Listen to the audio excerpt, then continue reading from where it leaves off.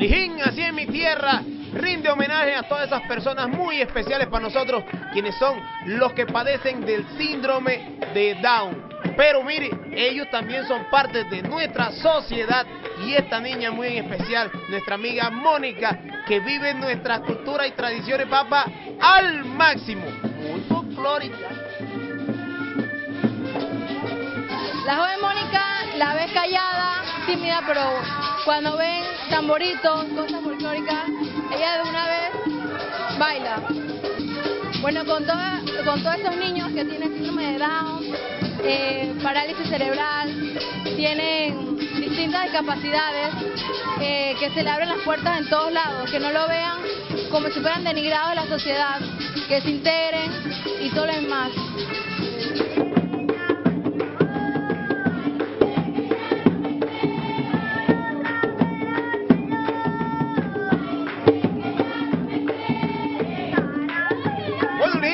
Esta es una muestra más de que todas las personas que padecen síndrome Down, estos niños tan especiales para nosotros, tienen también la oportunidad de disfrutar y gozar como lo hacemos nosotros en Así es mi tierra y llevan el folclore en sus venas. Así que de parte de nosotros, una gran felicitación y un fuerte aplauso para Mónica, porque así es mi tierra y así eres tú, Mónica.